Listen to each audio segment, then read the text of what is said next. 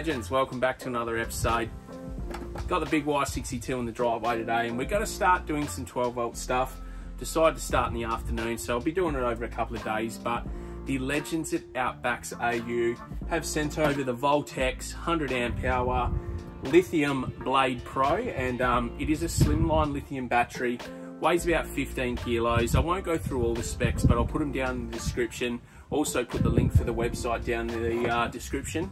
Um, it's really going to work with my setup. Um, there is a perfect spot in the y62s uh, where the jack is and where the tool uh, the tools go. Throw the jack in the bin because it's useless. Throw the tools out because they're also useless. And um, that's where my 12 volt setup's going to live. And it's going to be super neat, super slimline. You're not even going to know it's there um, by the end of the install.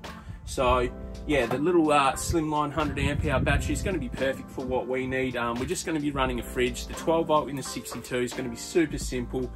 We're not going overboard like we did in the GU. We don't need ovens. We don't need all the, uh, we don't need inverters. We don't need um, anything like that. Just need to run a fridge 24 seven and that's what we're uh, planning to do here.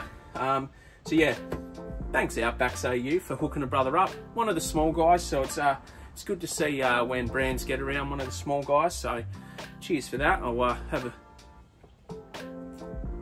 have a beer for you. Um, so yeah, that's the battery we're going to throw in.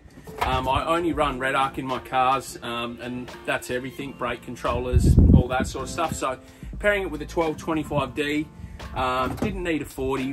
We're not going for all that. Um, yes, 40 amps an hour would be awesome, but we just don't need it. Save a little bit of money on buying a 1225D, so that's what's going to go in.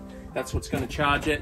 These have a built-in solar um, regulator as well, so you don't need heaps of, uh, heaps of units and stuff like that. So it's going to be a pretty simple 12 volt install, but it's just going to work. And that's all we're uh, doing with the Y62. There'll be a couple more episodes. Um, on what we're doing for the, the car. It's not going to be some crazy $300,000 chopped build, but what we are doing with the 62 is just getting it to be a good working tourer. Um, we don't need all that hectic stuff for what we're doing, so yeah. I've uh, drilled the holes, I've painted the holes, um, waiting for the paint to dry, then I'm going to mount the battery, so I'll show you that. It's super, super simple, but um, yeah, let's get into it.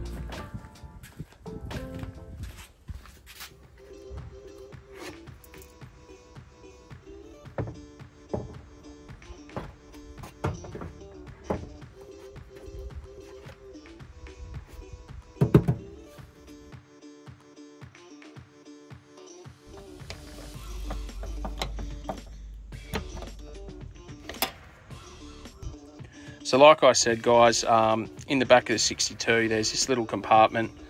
Um, as you can see, battery sits in there, super, super flat. Um, the tools usually go here, the jack usually goes here, but it's all junk. Um, I'm gonna run other stuff in the caravan or put something under one of the uh, front seats. But as you can see, it just sits all nice and just stays super, super clean, super, super factory. Um, we're going to put an Ando port and a SIG port over here.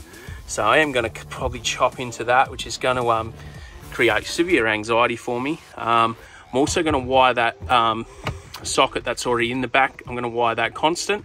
So yeah, I'll have two SIG sockets, one Anderson for the fridge, so we can charge stuff and yeah. But that's how uh, nice it sits. So if you're after a setup like this, there's a couple of different brands out there, but these bloody Volt X legends at Outbax AU have hooked me up. So I'm gonna roll the big Hundy. So yeah, 1225D is gonna sit here.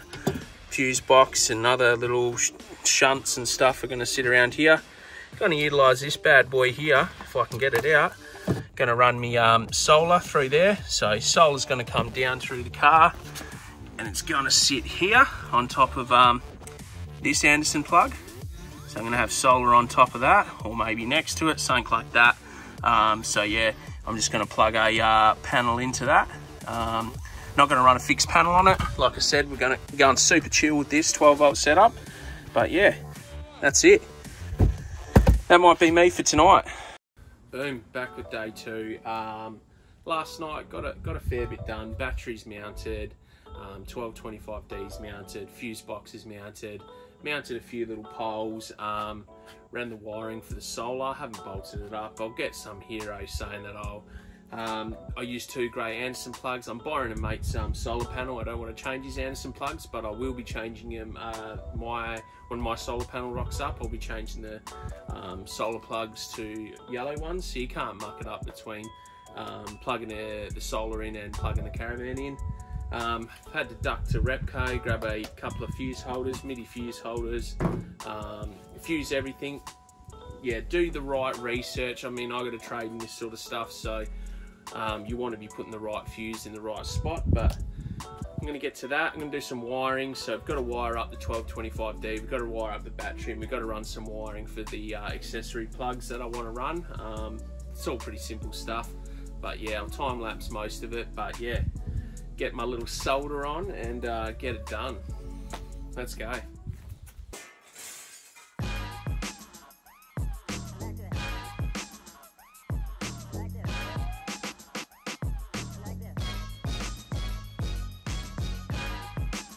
So as you've seen, I'm bloody quick at it. Look how quick that was. 30 seconds worth of time lapsing. Um, 1225D is uh, wired up, battery's good to go. Just to plug a couple of Andos in. Um, now the painful part um, after a good coffee is um, I've got to strip the side of the car. That's where a good chassis earth is. Um, you want to use good earth, so that's what has to happen. So yeah, I'm going to um, run that chassis earth to the uh, main earth. You've seen that um, I've just got a um, negative post uh, like joiner there. Um, the, the Victron shunt that I want, um, haven't been able to get. It's none in stock, so we'll have a smart shunt in it so we can see what the battery's doing when it's charging and stuff. For now, it won't. Um, so yeah, that's why I just did that. Um, but yeah, punch coffee. Whoa, spill it everywhere, and yeah, couple more steps and we on. So let's get it done. Righto, so I've got the glasses on, I've gone on water. This is the shittest bit of this whole um, install, um, especially on a brand new car. If it was a GU, just send. Got to install that. So that is going to go here. So anxiety is high for two reasons. Um, my wife will kick the shit out of me if I muck it up, and the second reason is my wife will kick the shit out of me if I muck it up. So um, age old saying, measure once, cut twice, something like that. Um, that's what we're gonna do. I'm gonna use um, hole saws to do it, or step drills, sorry. Um, so yeah, just just taking time and um, yeah, try not to F it up really. Um, apart from that, everything works. So 1225D is uh, kicking in and charging. Um, like I said, I haven't I'm using my multimeter to check all that. I uh, don't have the um, smart shunt yet, but when that goes in, it'll be on the phone. So if it goes in before this video drops, I'll show you. If not, forget about it. Um, but yeah. Oh man, I really hope I don't muck this up. Anyway, no time like the present, eh? Quick water, and we've been into it. That probably should be vodka, but anyway, let's go. Oh, this sucks. This sucks.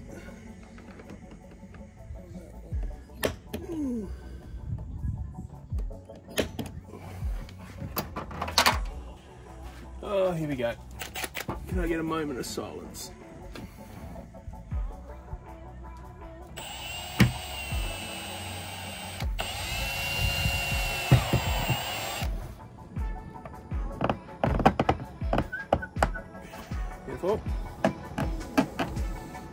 Hole number one for the Ando. I've marked it up there best I can. Um, fingers crossed, wish me luck no one wants some domestic violence. But I'm hoping that will just, uh, uh, should be good, should be right.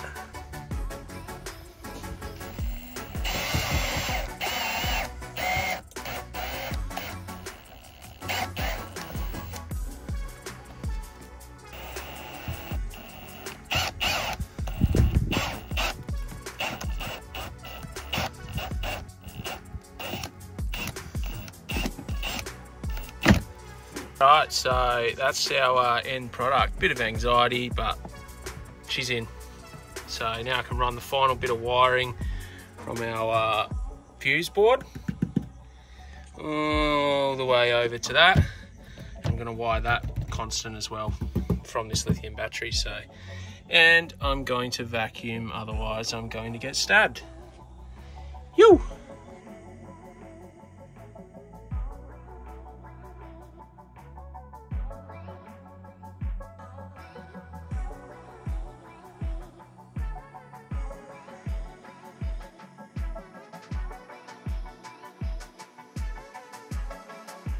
So boom, there you have it.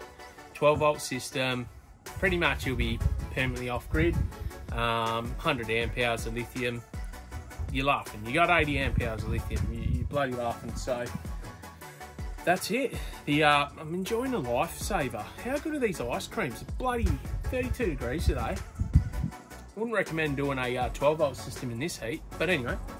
So yeah, it's fully done. 62 is up and running. So be a couple more episodes on the build that we're doing, but we're about to head north soon. So yeah, we've got a bit of a trip coming up. So at least now we can run the fridge off grid and um, yeah, enjoy those creature comforts. So shout out to uh, Outbax um, AU for hooking us up with the Volt X blade. Um, I'll leave all that sort of stuff in the description. Ball Terror on um, terror of a battery on uh, opening, but um, I'll let you guys know down the track. Obviously, I haven't I've just fitted it, so there's no long time review here or anything like that. But um, I'll keep you updated on how it goes. So thanks for watching. I'm going to enjoy my ice cream, put my fridge in the 62 and uh, head out camping. So see you on the next one.